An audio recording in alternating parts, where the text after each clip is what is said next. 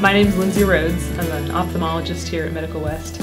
Um, it's important for everyone over the age of 50 to have a routine, uh, comprehensive dilated eye exam. That includes a one where you go to the doctor and your pupils are pharmacologically uh, made bigger so that the eye doctor can look inside the eye and look for different medical problems.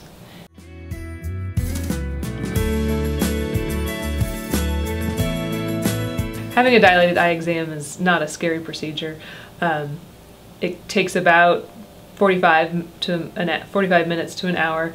Um, you come to our office, we'll check your vision, we'll check to see if you need any glasses, and then we put some eye drops in your eye, and after about 10 to 15 minutes, those eye drops will make your pupil very large, and at this point your vision will often become blurrier than it usually is.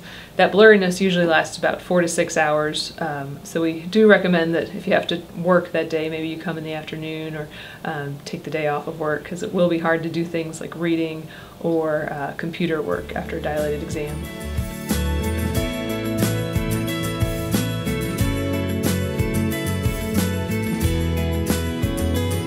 It's important to have a yearly dilated eye exam because as an eye physician I can look for many different eye disorders.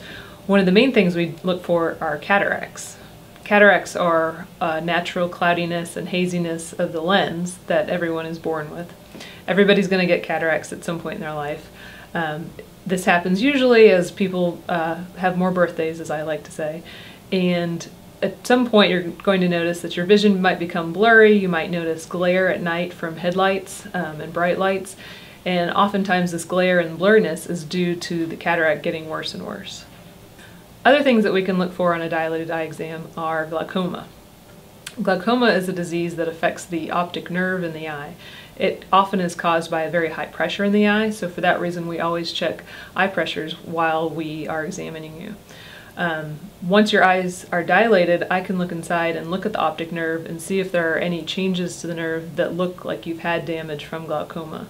There are also some other tests we can do during the visit to make sure that you don't have any glaucoma or to see if what, or to see how bad the damage is from the glaucoma.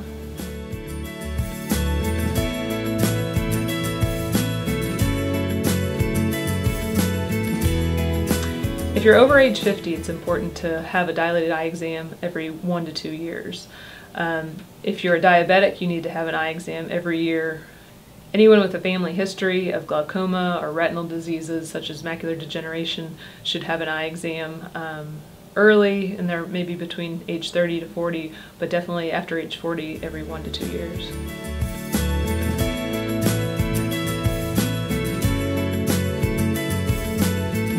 Sometimes a person's vision can get blurry or be limited for reasons other than just getting older. While cataracts are a simple thing to cure through surgery, other diseases such as glaucoma and macular degeneration can come on slowly and cause you to lose vision without even knowing it. At this point, it is often too difficult to reverse that damage once it's happened. This is why it's important to come in and be checked to have uh, be checked for these diseases in order to make sure that you don't have them. If someone wants to con contact us and come in for an appointment, they can call 996 West uh, to make an appointment through the hospital's physician referral line.